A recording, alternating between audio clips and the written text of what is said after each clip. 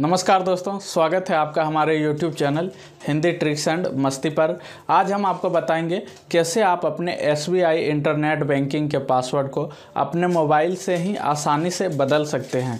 अगर आपके SBI internet banking के पासवर्ड एक्सपायर हो चुका है या फिर आप अपने SBI इंटरनेट बैंकिंग के पासवर्ड को भूल चुके हैं तो इस वीडियो में आपको इसकी स्टेप बाय स्टेप प्रक्रिया दिखाएँगे, जिसे देखने के बाद आप अपना SBI इंटरनेट बैंकिंग के पासवर्ड को बिना किसी परेशानी के मोबाइल से ही बदल सकेंगे। तो आइए चलते हैं अपने मोबाइल स्क्रीन पर और जानते हैं इसकी लाइव प्रोसेस दोस्तों, सबसे पहले आपको अपने मोबाइल के ब्राउज़र को ओपन करना है और वहाँ पर online S B I dot S B I की वेबसाइट पर जाना है। लिंक आपको वीडियो के नीचे डिस्क्रिप्शन बॉक्स में भी मिल जाएगा। वहाँ पे आपको कुछ इस तरह का पेज दिखाई देगा। इसमें आपको पर्सनल बैंकिंग के लॉगिन वाले ऑप्शन पर क्लिक करना है और फिर कंटिन्यू टू लॉगिन वाले ऑप्शन पर क्लिक करना है। और थोड़ा स्क्रॉल डाउन करके यहाँ पे आपको लॉगिन पासवर्ड का ऑप्शन मिलेगा।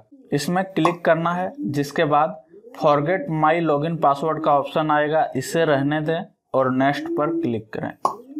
जिसके बाद यहाँ पर कुछ इस तरह की पेज खुलेगी। इसमें आपको यूज़र नेम वाले ऑप्शन में अपने इंटरनेट बैंकिंग का जो यूज़र नेम है, उसे डालना है। यदि आप भूल चुके हैं तो उसे कैसे पता करें? इसके वीडियो का लिंक जल्द ही आई बटन तथा डिस्क्रिप्शन बॉक्स में मिल जाएगा। उसे देख करके आप अपना यूज़र नेम को जान सकते हैं। तो यहाँ पर अपना यूज़र नाम डालें और उसके बाद अकाउंट नंबर को डालें। आपके जो अभी बैंक की अकाउंट नंबर है, उसे आप यहाँ पे डालें और फिर अपने कंट्री को सिलेक्ट करें और यहाँ पे अपना मोबाइल नंबर डालें और फिर अपना डेट ऑफ़ बर्थ डालें। फिर यहाँ पे जो कैप्चा आ रहा है, उसे आपको यहाँ पे डालना है और सबमिट बटन पर क्लिक करें।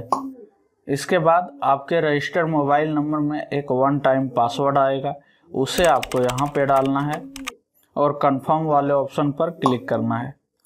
इसके बाद आपको यहाँ पे तीन ऑप्शन मिलेगा, using ATM card detail, using profile password और reset your login password with branch activation. मतलब इन तीनों ऑप्शन में आप जिस भी माध्यम से अपना पासवर्ड को बदलना चाहते हैं, बदल सकते हैं। तो मैं फ़िलहाल यहाँ पे आपको एटीएम के माध्यम से पासवर्ड को चेंज करके दिखाने वाला हूँ। तो सबसे फ़र्स्ट वाले ऑप्शन को सेलेक्ट करें और सबमिट पर क्लिक करें। इसके बाद आपकी एटीएम कार्ड की डिटेल यहाँ पे आ जाएगा।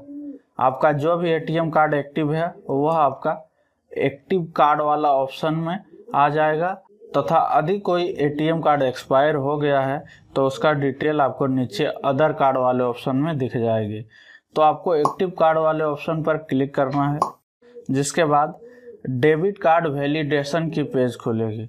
इसमें आपको कार्ड होल्डर के नेम वाले ऑप्शन में कार्ड होल्डर के नाम को डालना है और फिर वैलिड टू एक्सपायरी डेट में अपने एटीएम कार्ड की एक्सपायरी डेट यहाँ डालें और फिर पिन वाले ऑप्शन में आपके एटीएम कार्ड का जो पिन है, उसे यहाँ डालें।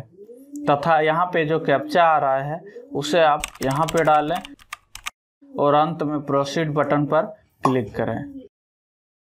जिसके बाद अगर आपने सब कुछ सही डाले होंगे तो यहाँ पे आपका सक्सेस का स्टेटस आ जाएगा।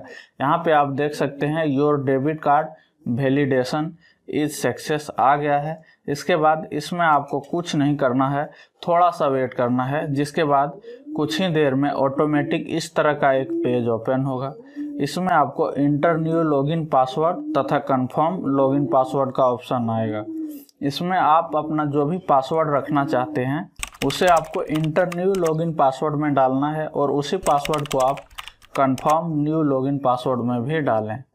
आपको अपना पासवर्ड कैसे रखना है, उसका डिटेल आप यहाँ से पढ़ सकते हैं कि आपका पासवर्ड कितने लेटर का होना चाहिए और उसमें क्या क्या होना चाहिए। इन दोनों जगह पे पासवर्ड डालने के बाद सबमिट बटन पर क्लिक करें।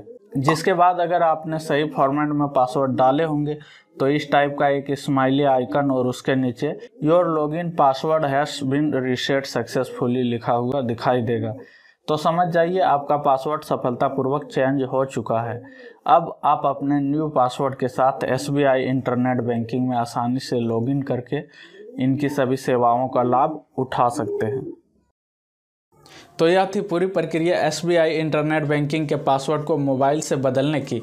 अगर आपको यह वीडियो पसंद आया और उपयोगी लगा तो वीडियो को लाइक करके चैनल को सब्सक्राइब ज़रूर कर लें, ताकि हमारी और भी वीडियो को आप आसानी से देख पाएँगे। यदि आपके पास कोई सवाल है या इस संबंध में और अधिक जानकारी चाहिए तो कृपया कमेंट बॉक्स में अपना सवाल पूछें। हम आपकी मदद करने के लिए यहाँ हैं। धन्यवाद। मिलते हैं अगली वीडियो में। सुरक्षित रहें और खुद का ध्यान रखें।